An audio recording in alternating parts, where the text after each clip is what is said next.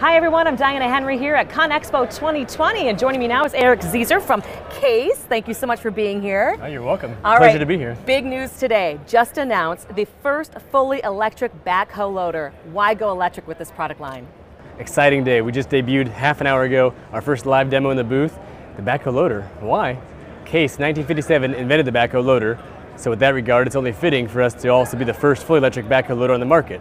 But when you look at the industry and the evolution of compact equipment and what's going to go electric, the backhoe loader made sense for us for really two reasons. One, as I said, being the inventor of the backhoe loader in 1957, but secondly, the industry demand. Utilities, municipalities, the key product in their range is the backhoe loader still. The Swiss Army knife of a product is utilized in their applications inside the urban areas.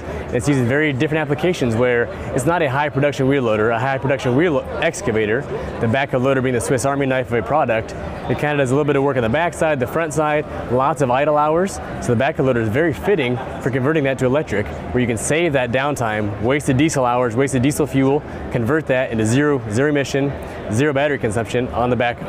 Is this where you're getting some of the feedback from customers saying, we want this? And so what benefits did you really kind of mold into this, this new, new machine? Sure. Yeah, the, the, other reason why I chose the backhoe loader is a dual approach.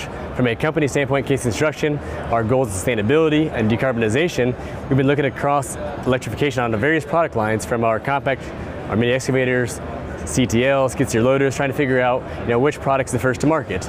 However, based on the customer demand, we chose the backhoe loader most suitable because we actually have customers coming to us requesting to electrify their case backhoe loaders in the marketplace today.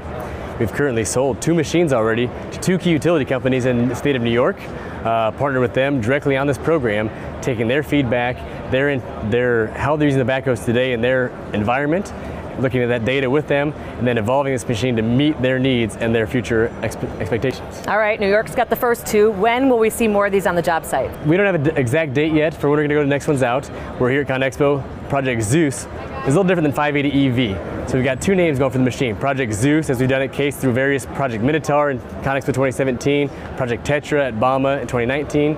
Project Zeus is our code name for this project. We were teasing ahead of time working as a team on this, but really the machine is 580 EV. We look at our customer machines, the 580 EV is a bit different than Zeus. Zeus is a little more flashy, trying to judge operator awareness, customer awareness that, hey, this machine is electric. It can be electrified.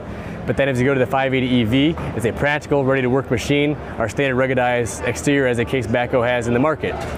Our next machine's coming out. We're trying to decide, based on the intentions of customers here at the show, who's really willing, who wants to partner with us on this to make sure that our first pass on this is right and for the market.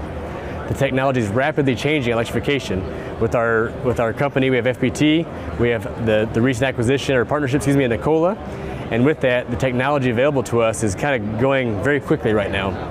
So we're at a decision point trying to figure out how fast we bring out mass production of this vehicle versus taking it smaller steps, working with close customers, and refining this product line over the next you know, months and years. So right now we're taking customer intent right now, working with them directly on our team, trying to figure out you know, who we want to choose as our select partners going forward. Awesome. So the exact date, we'll find out here. TBD but, uh, is what I'm hearing on that.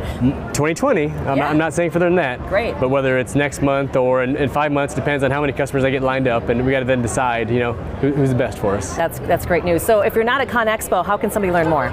So casece.com, obviously. We've also got a landing page dedicated to our 580 EV backhoe loader.